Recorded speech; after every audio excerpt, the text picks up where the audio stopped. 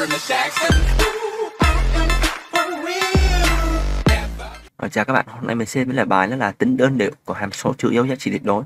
Rồi thì cái hàm số của mình nó sẽ có dạng đó là y bằng trị đối của fx. Rồi thì để xét đến tính đơn điệu thì mình xét đến đạo hàm của y ha. Thì mình có đó là y thì mình sẽ viết lại nó một xíu.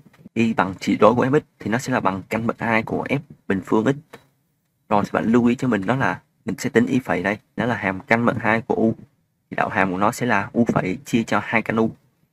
U phẩy của mình đó chính là bằng hai lần f x nhân cho f phẩy x. Cái mẫu của mình thì nó là hai căn bậc hai của f bình x. Mình rút gọn hai với nhau thì mình còn lại đó là f x nhân f phẩy chia cho căn bậc hai của f bình để tham số đồng biến trên tập d thì tức là y phẩy của mình nó sẽ lớn hơn hoặc bằng không với mọi x thuộc d do cái mẫu của mình nó đã vuông, cho nên là cái từ của mình nó phải lớn hơn hoặc bằng không với mọi x thuộc d và tương tự, nếu như nó nghịch biến thì f nhân cho f phẩy nó phải bé hơn bằng không với mọi x thuộc d mình dây của mình nó sẽ có 6 cái dạng chính. Đó là cái khoảng AB cái đoạn AB nửa khoảng chiều vô cùng đến B, nửa khoảng A đến dương vô cùng, nửa đoạn chiều vô cùng đến B và nửa đoạn từ A đến dương vô cùng. Rồi thì mình chỉ có bốn cái trường hợp nó có thể xảy ra thôi. Với cái điều kiện đó là fx nhân f phải lớn hơn bằng không, hoặc là fx nhân f phải bé hơn bằng không, nó xảy ra bốn trường hợp. Rồi trường hợp đầu tiên đó là gì? Bây giờ mình xét đồng biến à. Đồng biến tức là f nhân f phải, nó phải lớn hơn hoặc bằng không và f nhân f phải lớn bằng không thì xảy ra hai trường hợp đó là f và f phải đều lớn hơn hoặc bằng không hoặc là f và f phải đều bé hơn hoặc bằng không. À, đây là hai cái trường hợp đầu tiên.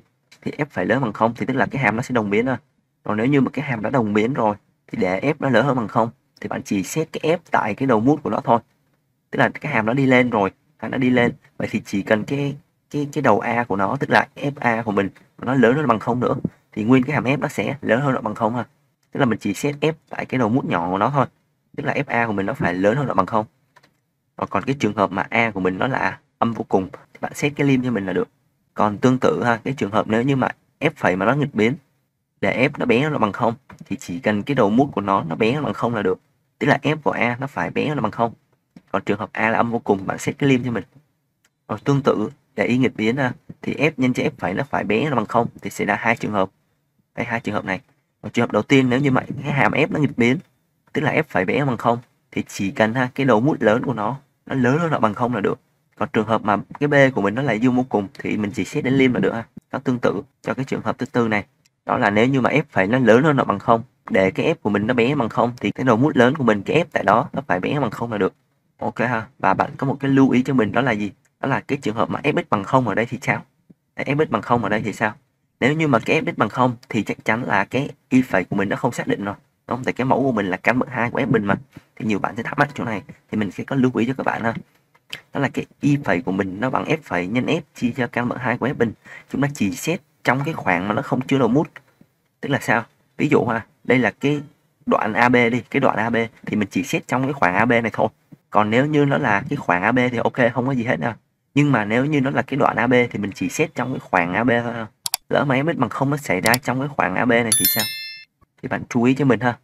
Nếu như mà fx bằng không mà nó xảy ra trong cái khoảng AB thì chắc chắn hàm y bằng trị đối của fx nó không thể nào nó đồng biến hoặc là nó nghịch biến trên cái khoảng AB này được. Bởi vì nếu như mà mình có nó là nếu nó bằng không tức là mình vẽ một cái đường nó cắt ngang qua trục OX đây, nó giao lại cái điểm dấu chấm đỏ. Thế như mình xác định cái đồ thị của y bằng trị đối của fx mình sẽ lấy đối xứng f phần âm lên. Như bạn thấy không? Nó vừa đi xuống mà nó vừa đi lên thì nó không thể nào đồng biến hoặc là nghịch biến được.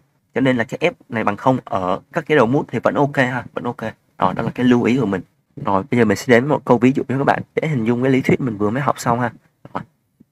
thì câu hỏi như sau. Có bao nhiêu giá trị nguyên dương của tham số m để hàm số y bằng trị số của 2x mũ 3 trừ mx cộng 1 đồng biến trên khoảng từ 1 đến dương vô cùng? Và bây giờ bạn xét cái lõi của hàm trị đối cho mình ha, tức là cái hàm fx của mình nó bằng 2x mũ 3 trừ mx cộng với lại một. Chỉ được đó là y của mình, đó chính là bằng trị đối của fx để hàm số y bằng trị đối của fx đồng biến trên khoảng từ 1 đến dương vô cùng. Tức là sao? Tức là f nhân cho f phẩy, nó phải lớn hơn hoặc bằng không với mx thuộc trong khoảng từ 1 cho đến dương vô cùng. Đó là cái này mình áp dụng cái lý thuyết hồi nãy của mình ha. Nó sẽ có hai trường hợp xảy ra.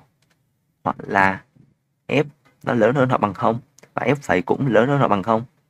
Hoặc là f bé bằng không và f phẩy cũng bé bằng không. Tức là f và f phẩy nó phải cùng dấu với nhau ha. Rồi, thì bạn chú ý cho mình như sau nè.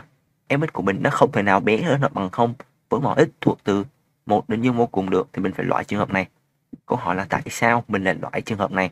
Khi x mà nằm trong cái nửa khoảng từ 1 đến dương vô cùng, thì bạn chú ý cho mình, cái f của x khi mà x tiến đến dương vô cùng, thì bạn chú ý cho mình ha. Cái f của mình nó bằng 2x mũ 3 trừ mx cộng 1 khi mà x tiến đến dương vô cùng thì f nó cũng tiến đến dương vô cùng luôn.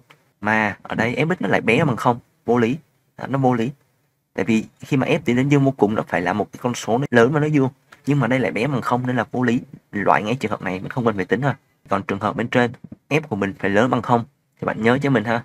Để hàm y mà trị độ của fx đồng biến thì mình chỉ cần xét. Đây là hai cái trường hợp đồng biến thì mình chỉ xét cái đầu mút nhỏ của nó thôi. Tức là cái fa của mình nó phải lớn bằng không ha rồi tức là cái f tại a đây là bằng một vậy là f tại một nó phải lớn hơn là bằng không.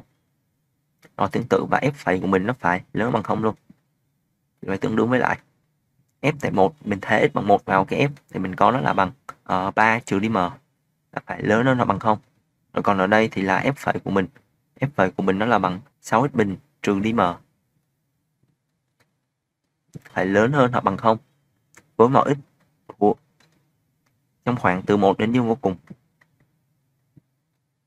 Cái tương đương với lại m bé bằng 3 rồi 6x bình trừ m, mình truyền về qua, tức là m nó sẽ bé hơn nó bằng 6x bình. Với mọi x thuộc trong cái khoảng từ 1 đến dương vô cùng. Cái thứ hai thì để giải được cái này rất là dễ. Nó chỉ cần m bé hơn hoặc bằng hàm f với mọi x thuộc trong lửa khoảng từ 1 đến dương vô cùng. Khi và chỉ khi m nó bé hơn hoặc bằng cái min của hàm f này ha. Nó chỉ cần bé bằng min của 6x bình, khi x thuộc trong cái nửa khoảng từ 1 đến dương vô cùng. Và min của hàm này thì bạn thấy rồi 6x bình mà khi mà x từ 1 đến dương vô cùng nó luôn tăng đúng không? Nó tăng lên. Vậy thì min của nó chắc chắn là là f tại 1 đúng không? Tức là mình thế cái số 1 vào, tức là nó bằng 6 vậy thì cái điều kiện bên dưới tương đương với lại m bé bằng 6 kết hợp với cái điều kiện m bé bằng 3 vậy thì mình ra được đó là điều kiện của mình đó là m bé bằng 3 và m lại là số nguyên dương nên mình có ba giá trị 1 2 3 mình chọn phương án C. Ồ, cái bài này thì bạn cần chú ý điều gì cho mình? Đó là khi mà mình xét cái trường hợp f phải cùng dấu, thì mình loại ngay cái trường hợp đó là f bé hơn hoặc bằng không. Tại vì sao? Khi x chạy từ một đến dương vô cùng ha.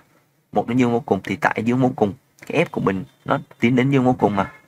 F của mình nó bằng 2 mũ 3 trừ mx cộng 1 thì cái 2 mũ 3 này nó sẽ tiến đến dương vô cùng. Cho nên là cái f của mình nó không thể nào bé bằng không ở đây được. Đó, cho nên mình loại ngay cái trường hợp này đi luôn. Đỡ phải giải ha. Cho cho chỉ xét cái trường hợp bên trên thôi chỗ bên trên thì cái f lớn bằng không thì bạn chỉ cần set lại cái đầu mút nhỏ cho mình. Tức là f1 của mình nó phải lớn hơn bằng không ha cảm ơn đã xem, đã thấy video của mình hay và hấp dẫn thì đừng quên đăng ký, like và chia sẻ video này cho bạn bè của bạn cùng xem ngay nhé. Tạm biệt các bạn. Fearless.